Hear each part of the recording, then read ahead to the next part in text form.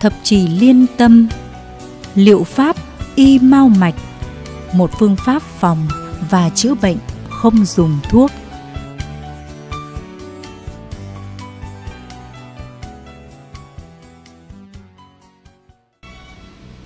Thập trì liên tâm là một phương pháp phòng và chữa bệnh không dùng thuốc theo liệu pháp y mau mạch.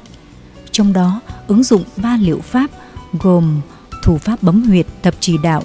hay thập thủ đạo, làm giãn mau mạch ngoại vi của cố lương y Huỳnh Thị Lịch. Liệu pháp dậm gót giúp thông tĩnh mạch của viện sĩ người Nga Mikulin và liệu pháp y mau mạch giúp đả thông mau mạch nội tạng của giáo sư bác sĩ người Nga Salmanov là ứng dụng của giải Nobel y khoa năm 1920 được trao cho giáo sư August Gross người Đan Mạch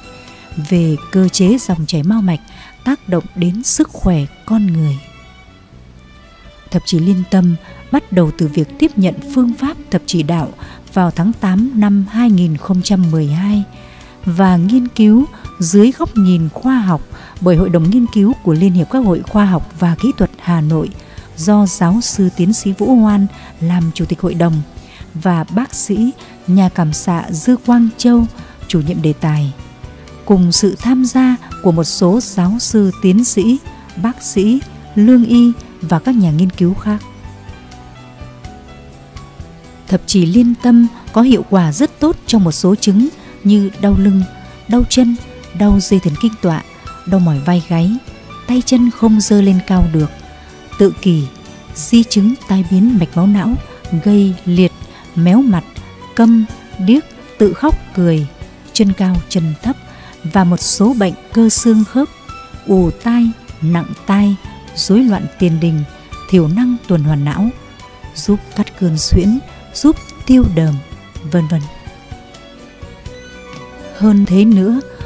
thậm chí liên tâm có thể hỗ trợ cải thiện các bệnh nội tạng, gan nhiễm mỡ, máu mỡ,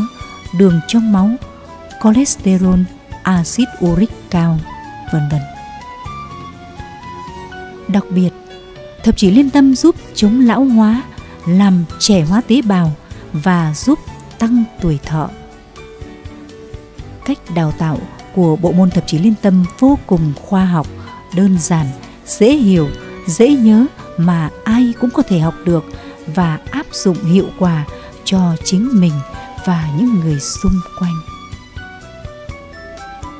Thập chí liên tâm bằng Huỳnh Thị Lịch cộng Mikulin cộng Zanmanov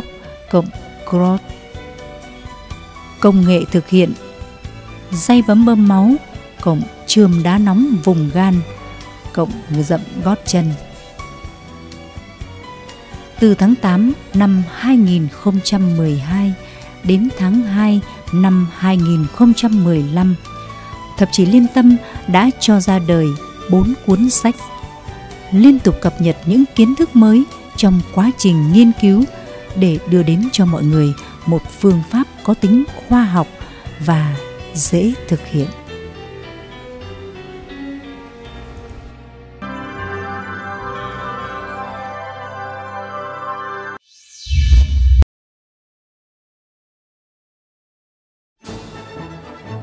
Viện Nghiên cứu và ứng dụng bấm huyệt thập trì liên tâm